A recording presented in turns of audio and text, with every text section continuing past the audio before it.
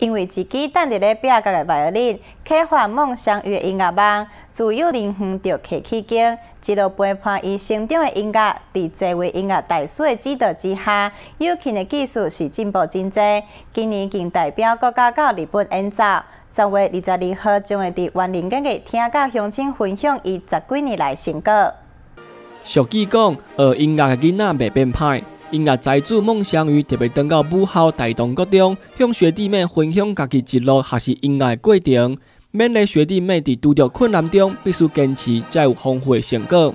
更邀请大家伫十月二十二号前往万林演艺厅，伊将为大家带来伊十几年来学习的成果。这位这个我们孟小雨同学是我们毕业的，从我们这里毕业的非常优秀的呃校友哈，因为呃他学琴的。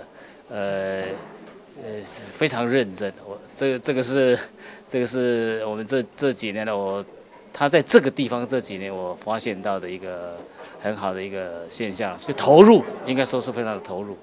OK，所以他的音乐会，我对他非常的有很高的期许。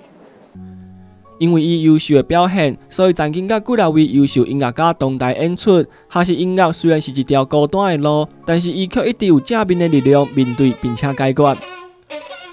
音乐就像语言一样，它可以传达情绪，很直接、很精确的。但是又跟语言来的不太一样，是就算不一样的国家的人听到音乐都可以有自己的心情跟感受。音乐是最直接的情绪的表达。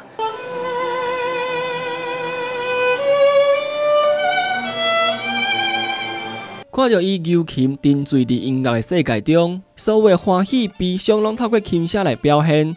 年纪轻轻的伊对音乐有伊特殊的表现方式。欢迎乡亲伫十月二十二号前往万林演艺厅欣赏伊带予大家的生命体验。新中华新闻张秀珠万林采访报道。